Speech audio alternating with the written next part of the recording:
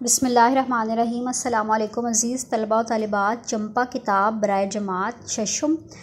नज़म का उनवान है शफ़क़। शायर का नाम है इसमाइल मेरठी। यहाँ मैंने शेर नंबर तीन जो है वो उसकी तशरी जो है वो आपकी आसानी और सहूलत के लिए तहरीर कर दी है। यहाँ हम देखते हैं कि शायर क्या कहते हैं कि नया रंग है और नया रूप है। यानी जब गुरूब आफ्ताब का वक्त होता है, आसमान पे एक नया ही नज़ारा, एक नया ही मंज़र, नए रंग जो हैं वो बिखरते नज़र आते हैं। हर एक रूप में वही धूप है। तो ये जो रूप नज़र आता है है वही है जो पहले भी पिछले दिन शाम के वक्त जो है वो नज़र आया था। लेकिन ये जो नया नज़ारा इस वक्त सुबह के उजाले के बाद जो एक शाम के मंज़र में एक रंग भरे हैं, ये एक मुख्तलिफ़ सा नज़ारा है, एक मुनफरद सा अंदाज़ है।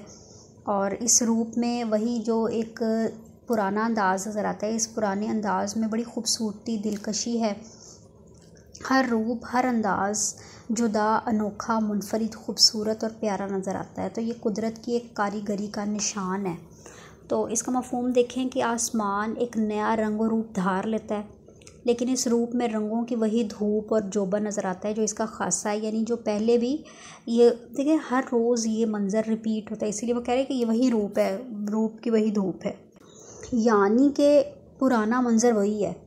लेकिन जब दोबारा रूप धारता है तो कुदरत की सनाई, कुदरत की दिलकशी, पर एक दफ़ा फिर हमें सुबहान तेरी कुदरत कहने का दिल करता है, अल्लाह की हमद सना, उसकी तारीफ़, उसकी बुज़ुर्गी, उसकी बड़ाई, उसकी किबरियाई, उसकी बरतरी बयान करने का दिल करता है। तो ये सब खुदाई रब्ज़ुलजलाल की शान है, उसका रंग है, ठीक है?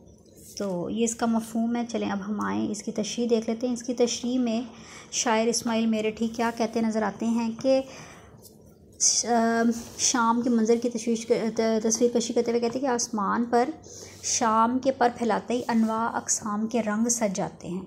ये कुदरत का इतना अनोखा, नया और दिल फरेब रंग है और ऐसा नया रूप है कि इसके हर रूप में अपनी इनफरादियत के साथ साथ एक नया अंदाज भी झलकता या छलकता नज़र आता है। अब यहाँ दोनों अल्फाज इस्तेमाल कर सकते हैं। एक बात याद रखिए मैं सिर्फ़ आपको जस्ट मेयर एक थोड़ा सा कंटेंट प्रोवाइड कर रही हूँ लाइंस को एक्सप्लेन कर रही हूँ तो आपने ख़ुद इसको जो है मज़ीद जो है वो अपनी आसानी और सहूलत के लिए इसको मज़ीद एक्सप्लेन भी कर सकते हैं, इसको मज़ीद लंबा भी कर सकते हैं। ऐसे दो नंबर की तशरी होती है बोर्ड पैटर्न के मुताबिक।